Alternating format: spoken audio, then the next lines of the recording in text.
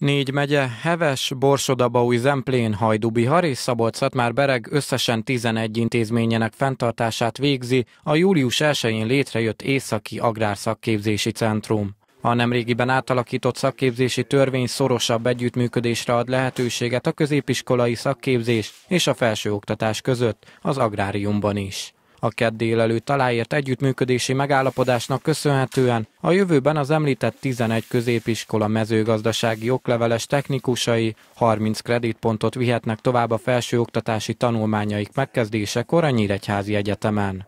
Egyfajta kimenetet ö, ö, biztosít az intézmény és a felsőfok között azoknak a tanulóknak, akik ugye jobb képességűek és ugye az új képzési szerkezet vonatkozásában technikumban végeznek, és szakmai érettségit tesznek. Ugye ez emelt szintű érettséginek fog minősülni az ötöd év végén, és tulajdonképpen azt kezdeményeztük most itt az egyetemmel, hogy ennek a beszámítása történik meg, mintegy 30 pont erejéig.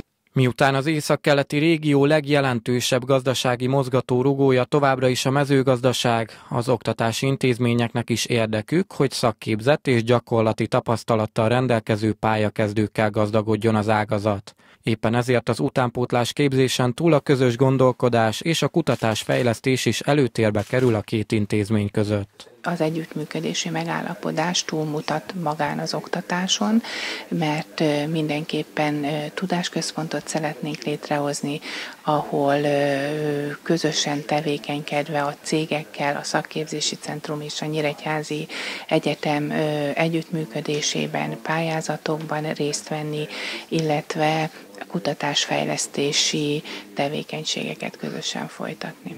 A rektor hozzátette, a kredit beszámításnak és a tananyagok összehangolásának köszönhetően arra is lehetőség lesz, hogy az érintett hallgatók az előzetes tantervtől eltérően hamarabb készhez kapják felsőoktatási oklevelüket.